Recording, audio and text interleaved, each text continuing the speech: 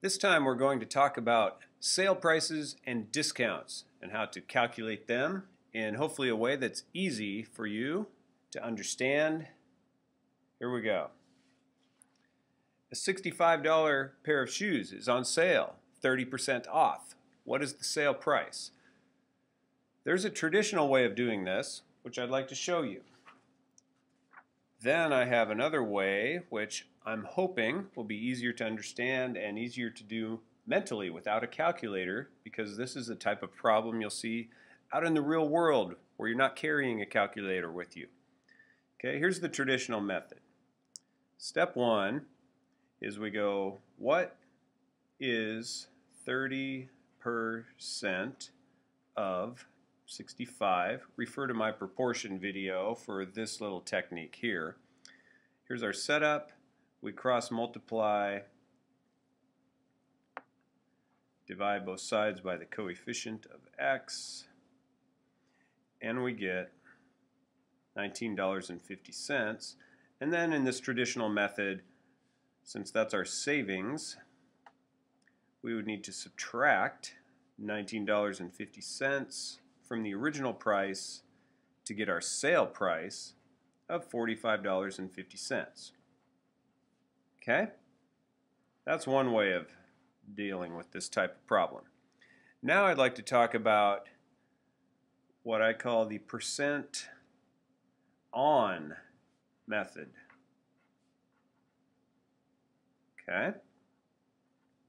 So my question to you if these shoes are on sale at 30% off, what percent are they still on? And this is a quick and easy mental calculation we can do, sliding the page up here. and that calculation is simply, well, since percent means out of 100, then we can simply go in our heads, oh, 30 from 100 is 70. So they're 70% on. That's what we're still going to pay. And as a consumer, that's what we're more concerned about is how much is still coming out of my pocket. So then I can simply go ask this question, what is 70% of $65? You might recognize this as the way we set up and solve a proportion.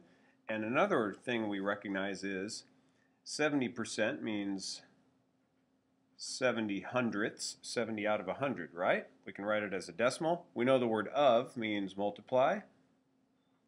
And 65, it is what it is. So this little question here gets translated into a multiplication problem. And guess what?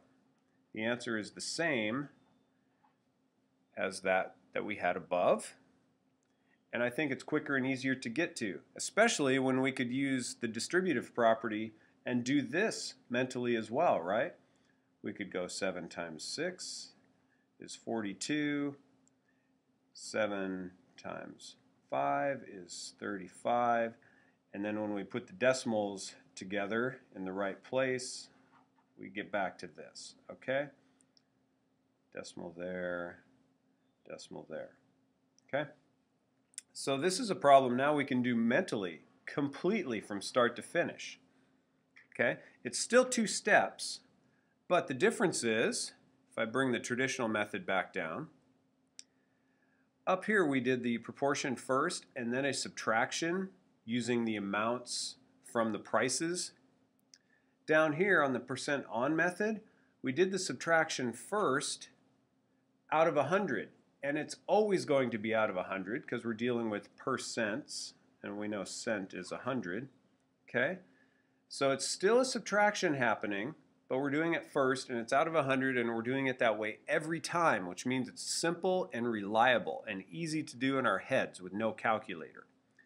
Then once we have that percent on, then it's simply a multiplication problem to get the sale price. Okay? Now in the real world, we're done with that. If we wanted to figure out how much savings happened, then we could always just do the original price minus the sale price to get our savings, right?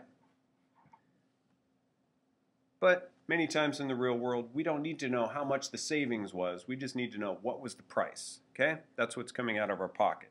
So I'd like you to practice this percent on method. I'm going to give you a couple of sample problems here. Then I would like you to pause the video, do the problems, and then hit play again and see how you did. Okay? So let's make up a couple of situations here. Let's say we have a video game it's $40 and it's on sale. They're having a big 40% off sale. What's the price? What's the sale price? And another example, let's say we have a $75 skateboard, which is a good price right there, but 20% off What's the sale price? All right. Hit the pause button, do these problems, and then when you come back, I will show you how they worked. All right?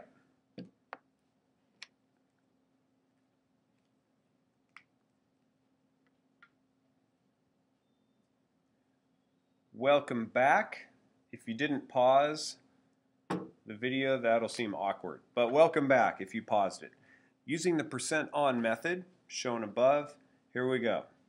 40% off means 60% on, right? These two off and on should add up to 100%. So my question is simply, what is 60% of $40? and the answer is $24.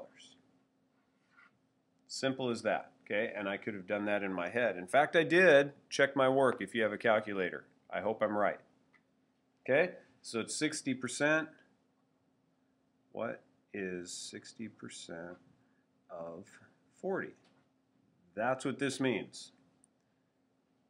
And my answer answers that question.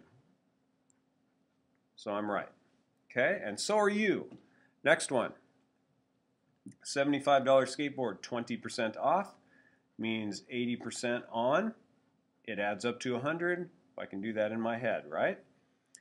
What is 80% of, right? Multiplication means of. I want to get that and never forget it. Of is multiplying. 80% of 75 equals $60. That's it. Check my work. Once again, I use mental math there. 8 times 7 is 56. 8 times 5 is 40. 56. And the 4 makes 60. So we can do that mentally using the distributive property. But hopefully that helps you with this concept of discounts and sale prices and the percent on. Have a great day.